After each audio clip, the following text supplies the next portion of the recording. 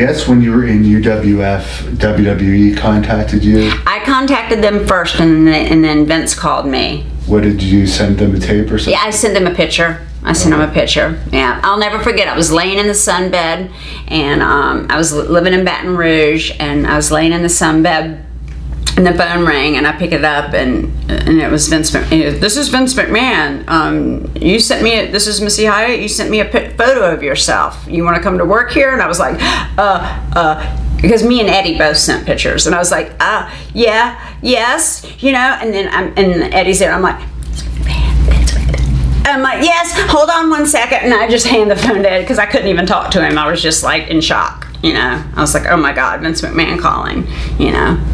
So. And Eddie had worked for his father, I guess, so Eddie knew him. Yeah, well, Eddie had worked there before. Eddie had a bad car accident. Eddie worked there in, I think, 86 or something. No, not 86. Oh, I, I can't even remember the days. 82 or something like that. Maybe 82 or 83. Eddie worked there. And Eddie, Eddie, Eddie, Eddie knew him from working there. So did they bring you in right to a taping, or did you? Well, no. Um, first, he had me come up there for a meeting, and um, me and Eddie flew up there for a meeting. And the whole way up there, Eddie kept saying, "I think they're going to give me Piper's Pit. They're going to give me Piper's Pit." you know, I can do Piper's Pit.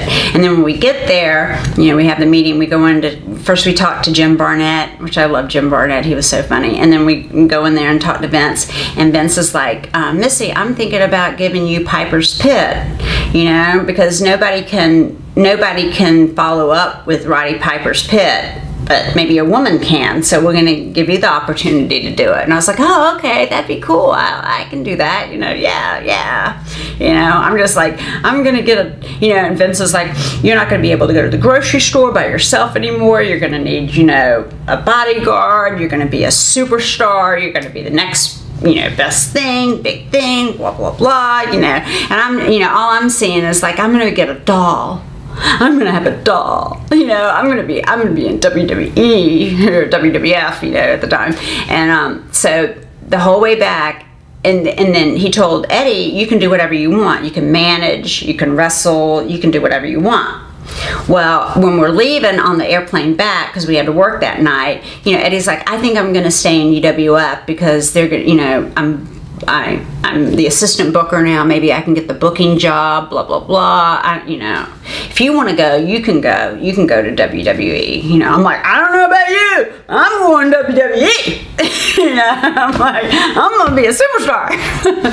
and um, so it, that, that was a rift between us. But, um, do you think that was a good decision by him with the, the amount of stars they were making at that time? I don't know. I mean, he wanted to be a booker. That was his main goal. If he didn't have to wrestle and just be a booker, he would have done that.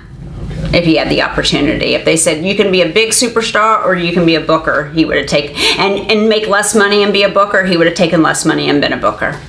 So for Missy's Manor, was there any other discussions between that meeting and the first? Well, no, you know, I go back up there another time to take pictures, and you know, they bought me clothes. It was so wonderful. I got to buy clothes, and they paid for them, and they bought me all these cool clothes. It was so nice, and um, they had me come up there to do a photo shoot and to do some voiceovers. Like you know, they did a thing showing my feet, you know, going up, you know, me saying something about, you know, they were wondering who's going to replace Piper's Pit, but you know, it takes a woman to go in a man's shoes or something like that. I don't remember what it was, but before I did my Missy's Manners, I mean, they had a whole set built with you know couches and backdrops and all this other stuff, and um, Vince like went over what I should say in the back. And so I was just going out there, you know, it wasn't scripted, but it was like what he said.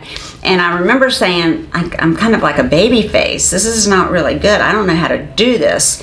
And the first time I went to interview, I interviewed, um, uh, what's his name with the megaphone? Um, Jimmy Hart. And I go to ask him a question, and I have the microphone in my hand, and I don't give him the microphone he has to take the microphone to talk because I didn't never I had never interviewed anyone.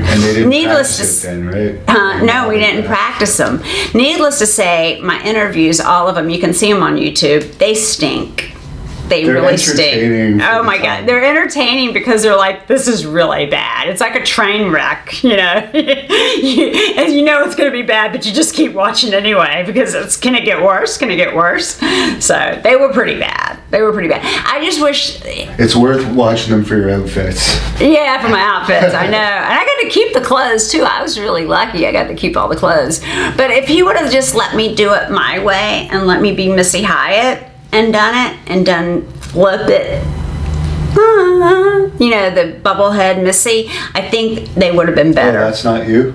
yeah. Thanks. And you you actually interviewed Macho Man on that. I watched that one. Um, what was he like to work with? I, I didn't even really get to talk to him because I just stayed in my dressing room. I was so scared, you know. I stayed in my dressing room at WWE, and I remember when I first met um, Hulk Hogan. Hulk Hogan comes up to me, and Vince is like, "This is the Hulkster," and Hulk, and Hulk goes, "Oh, so I hear you're here to take my spot." And I was like, "No, your chest is still bigger than mine." That's okay, you know. And he was really cool. It- Hogan was really nice to me, and everybody that I met up there was really, really nice. But I just stayed in my dressing room. I was, I was just really intimidated and scared, and I was by myself. And I had never been anywhere by myself. I either had John with me or there was Eddie with me, and so I didn't feel comfortable being out and around. I mean, I played with the dog, the um, the bulldogs, or, or Matilda. yeah, I played with Matilda a little bit, and that was about it. And she smelled funny. Though I think they gave they gave her liver drops or something, but Matilda Matilda smelled.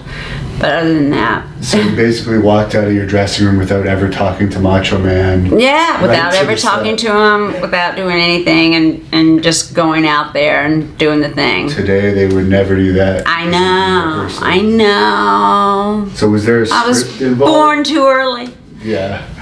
Was there a script involved? No, there was no script. No script. Just Vince told me what to say, and I went out there and said it. Did you ever talk to Elizabeth much? No, no. The only time I talked to her was out there doing the interview. You know, I think I might have ta- said two words to her before we went in, before we went out.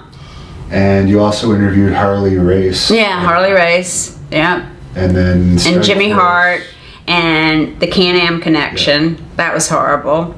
Um, That was It was so cheesy. Did they, so they gave you the idea for that Can-Am connection one? That yeah, they told me what to do. Yeah. Because they aren't the greatest on the mic. Oh, I know, that I know. And I mean, and I wasn't the greatest on the mic either, so it was kind of bad and bad and everything.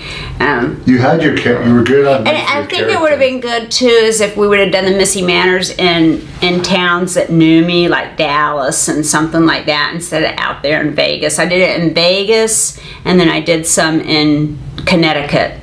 So I would have gotten more boos and stuff like that, I think. But I mean, he he wanted. He told me later when they wanted um, when my when I showed up at Anaheim for the next TV taping. He's like, well. You know, we have an idea. We'd rather have you standing up to show your legs because you got legs, but we want to do an interview segment like that. But we, and what we want to do is have you become a Federette and then do something with the honky tonk man, and the honky tonk man keeps aggravating you and something. I don't, I don't, I didn't really grasp the whole idea that he had. And then you'll have your own segment. And I'm like, you want me to be a Federette and, and wear that little outfit and take ring jackets and be one of three other girls or two other girls, you know? And so I was like, hmm, that seems like a step down. And I remember I went and called Eddie, and um, I said, Eddie, this is what they want me to do. And Eddie's like, you're you're not a Federette, you're Missy Hyatt. You don't have to do that. And so I went and told Vince, I go, well, I talked to Eddie, and Eddie, and he's like, well, that's the problem right there.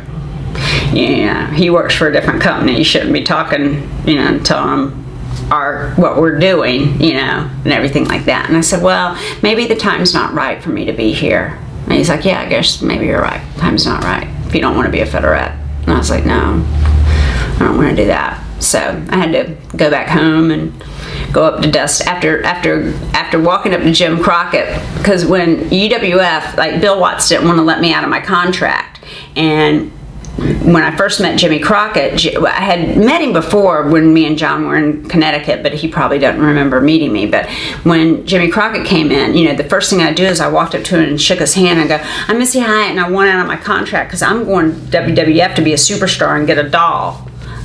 and he's like, "Okay, you can have, you can have, you can get out of your contract." So, you know, hence three months later you know, I go up to the office. Eddie's on the book. Eddie's booking UWF, and I had to go up to Jim Crockett and go, "Hi, Mr. Crockett. Remember me? Knock, knock, knock on the door. Hi, I'd really like my job back. Do you think there's anything for me? Please remember me, please. You know, like that. So, but he, but he, and he just told me go down there and talk to Dusty and see what Dusty has. I was like, okay. So I went and talked to Dusty, and Dusty said, "Oh, they didn't know how to use you. I'll know how to use you right. I'll put you to work." I was like, "Okay, thank you." I guess you were uh, under a pay per appearance basis. no, no, I was weekly. I got, I had, a, I was, I was. As a matter of fact, a trivia, trivia, trivia question is the first woman to have a, a guaranteed contract in wrestling was me. Because in UWF I had a guaranteed contract, weekly guaranteed money, and so um, Vince was going to give me weekly guarantee plus all my clothes, which I love that idea, all the clothes and shoes and So you would have had a weekly guarantee as a Federette. I guess. I don't know. I wonder if that would have held up. But I mean, how many Federette outfits could I have bought, though? That's the only But thing. as you said, there was an angle there with the honky tonk man. I guess. I don't know. I, I don't guess you were too young, unfortunately. Yeah, I didn't know what I was doing. You know, I was 24 years old and not new to the business and didn't know anything and and just, you know, I should have just shut my mouth and been a Federette. Because they weren't really, other than Elizabeth, they weren't really pushing any females. So if they I know, I push, know, I know. Oh my gosh, hindsight.